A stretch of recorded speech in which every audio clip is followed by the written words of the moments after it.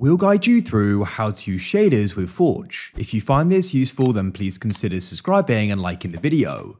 This essentially means we can go and play with shaders and mods. Here we are on the desktop. What you need to do is go and open up a web browser of your choice. To go and get started, we need to head to a site called Optifine. Go and search for it, and what you need to do is come to optifine.net.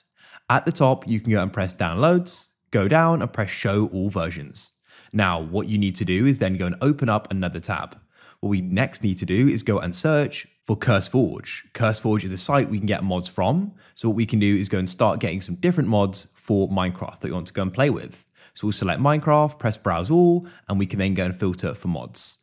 Or then come and get just enough items, let's say. You may already have mods, it doesn't matter. We can press files at the top.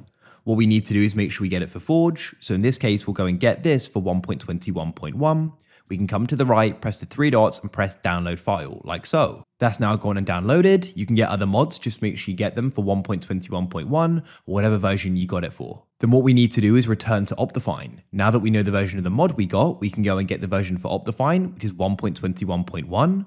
Also, just note down this Forge version. We can highlight it and copy that as we're going to need it. Then what we can do is go and press download with Optifine.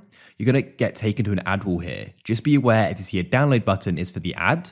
To go and start downloading Optifine, you need to go and press skip in the top right, like so. Now wait for the download page and we can press download.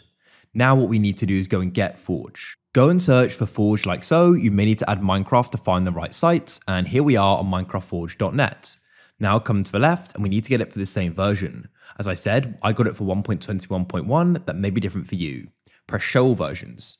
Now, as I said, we went and copied that number from Optifine, so we need 52016. So what we can then do is go and scroll down here and go and find it. It's quite far back, but here it is. Then we can come to the right and press installer. Go to the top right and then you can go and press skip and it will go and download. Before we start the install process, a big thank you to Apex Hosting for sponsoring this video. If you're in need of a Minecraft server, check out the link down below in the pinned comment and in the description.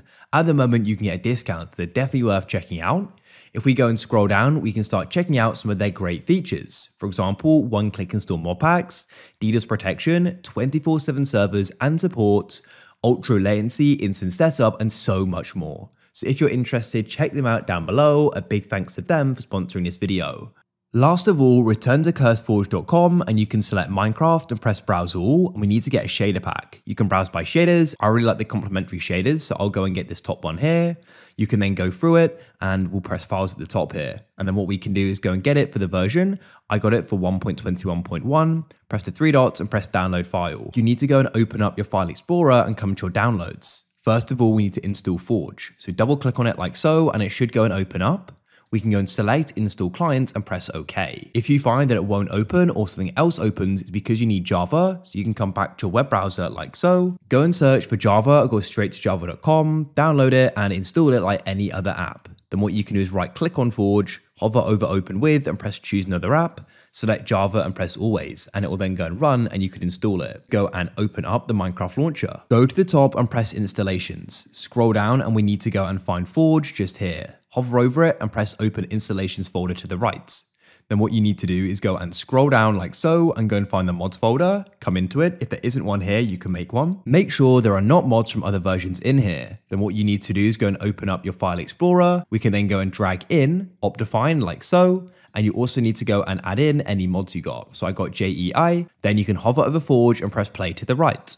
Here we are. Go and pause the game and press options and video settings. You see Optifine in the bottom left and press shaders to open up shaders here. Go to the bottom left and press shaders folder. Now what we need to do is come back to our downloads and what you need to do is go and drag and drop in this shader pack like so. It'll then appear here.